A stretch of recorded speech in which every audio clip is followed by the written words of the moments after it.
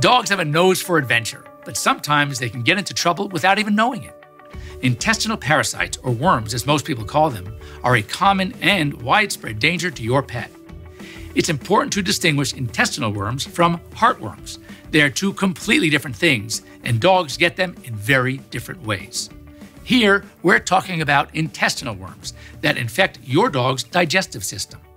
Dogs get intestinal parasites in one of four ways by ingesting worm eggs or worm larvae in feces or infected soil, ingesting raw meat or remains of an animal that has been infected, by becoming infected by worm larvae puncturing the skin, as is the case with hookworm infection, or directly from their mothers, either while she is still pregnant or through her milk.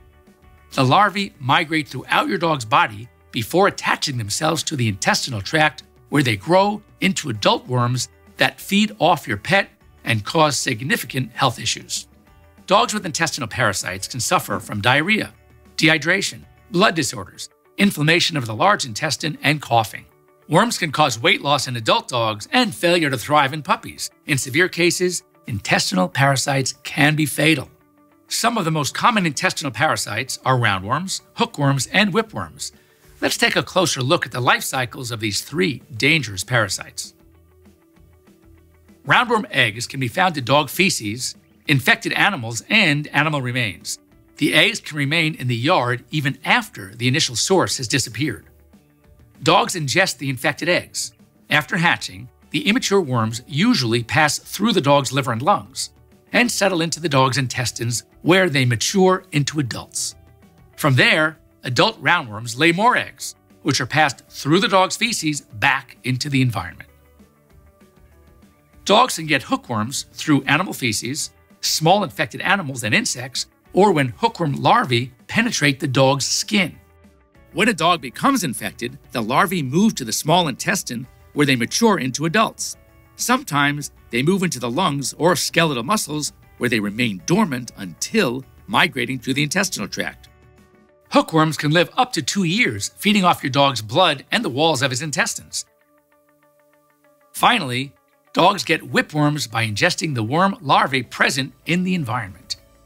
Whipworm eggs can remain viable in the soil for many years. Once inside the intestines, the worms take approximately three months to mature into adults. Once this occurs, adult whipworms live in the dog's large intestines and only shed eggs intermittently.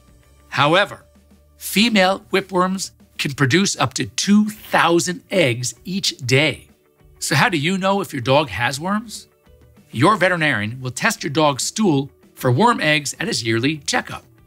Other signs to watch for include coughing, vomiting, diarrhea, especially if there's signs of blood, worms in his stool, lethargy, an appearance of a pot belly, weight loss, dull coat, or scooting his bottom across the floor. Only veterinary tests for intestinal parasites can provide an accurate diagnosis. So be sure to visit your veterinarian if you suspect your dog may have contracted worms. To reduce the risk of your dog or family coming in contact with worm eggs and larvae, pick up feces immediately when walking your dog and clean your yard often.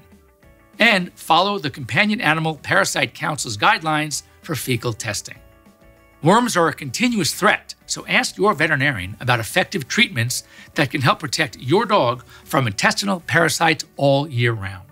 Just one dose a month can make a big difference in the health and well being of your pet.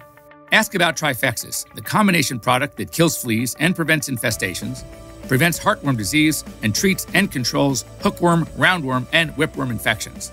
See the full product label for complete safety information. Serious adverse reactions have been reported following concomitant extra label use of ivermectin with spinosad alone, one of the components of Trifexis. Treatment with fewer than three monthly doses after the last exposure to mosquitoes may not provide complete heartworm prevention. Prior to administration of Trifexis, dogs should be tested for existing heartworm infection. Used with caution in dogs with pre existing epilepsy. The most common adverse reactions reported are vomiting, depression, itching, and decreased appetite. To ensure heartworm prevention, observe your dog for one hour after administration. If vomiting occurs within an hour of administration, redose.